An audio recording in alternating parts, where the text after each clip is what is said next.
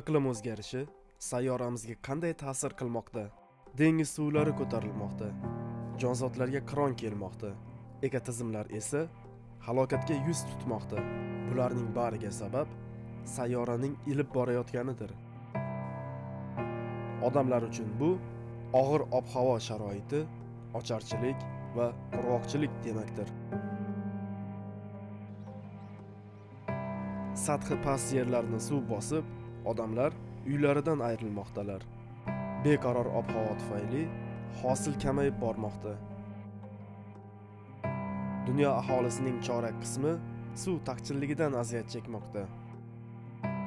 Vaziyat shunday davom etsa quyidagi holatlar sodir bo'lishi mumkin. Biya xilma xillik yo'qolib kasalliklarga qarshi kurashish qobiliyatimizga putur yetadi.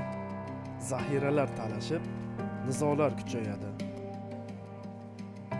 Tengsizlik va siyosiy norozilik tartibsizliklarni yuzaga keltiradi. Odamlar inqirozlar va tabiiy ofatlardan qochib ketayotganidan ommaviy ko'chishlar kuchayishi kutilmoqda.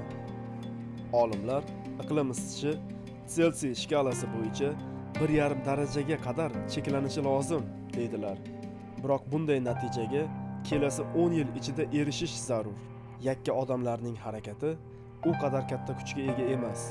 Zaruriy o'zgarishlarni amalga oshirishda hukumatlar va bizneslar hanuz eng qudratli o'yinchilar bo'lib qolmoqda.